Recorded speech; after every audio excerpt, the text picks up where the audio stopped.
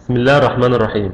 سنتعرف في هذا الدرس على كيفية إضافة سندات قيد مخصصة جديدة وذلك بالذهاب إلى قائمة تعريف ثم اختيار أنواع القيود المخصصة. نلاحظ أنه تم فتح نافذة أنواع القيود المخصصة. ولتسهيل عملية الإضافة نقوم بنسخ هذا السجل. ثم نضغط على فتح سجل جديد. ثم لصق السجل. ثم نقوم بتعديل البيانات عليه. على سبيل المثال بدلا من مقبوضات الصندوق تكون مقبوضات المصرف أو البنك.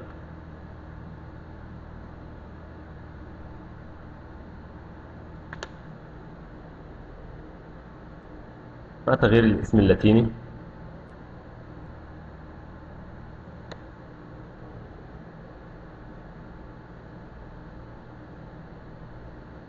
الاختصار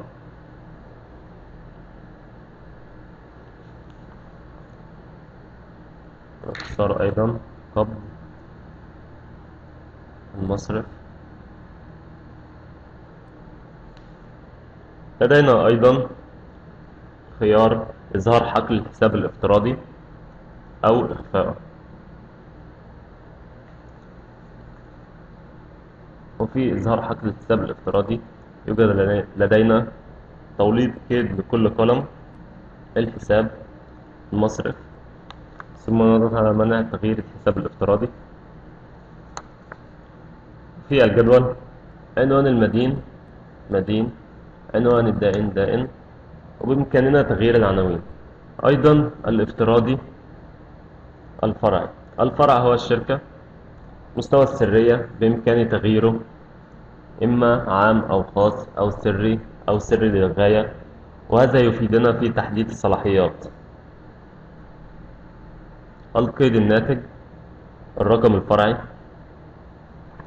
هذا الرقم الفرعي بلا رقم فرعي بلا رقم فرعي أي مستقل أم يتبع سلسلة. بلا أو مستقل أو يتبع سلسلة.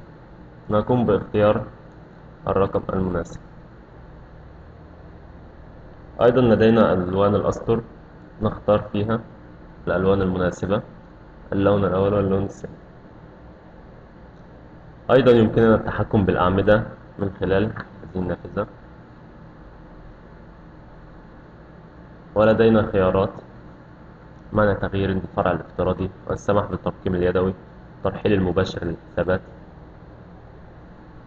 منع تغيير التاريخ الافتراضي والرقم الفرعي في حال عدم التحديد. لدينا السماح تسجيل أو التنبيه أو منع. إذا قمنا باختيار منع فإنه لم يتم الحفظ في حال عدم تحديد الرقم الفرعي. وأيضا تكرار الرقم الفرعي.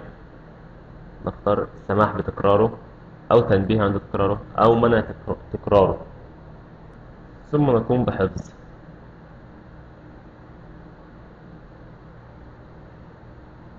نلاحظ أنه في قائمة قيود في مقبوضات تم ظهور لنا مقبوضات المصرف وبهذا نكون قد تعرفنا على كيفية إضافة سندات قيد مخصصة جديدة.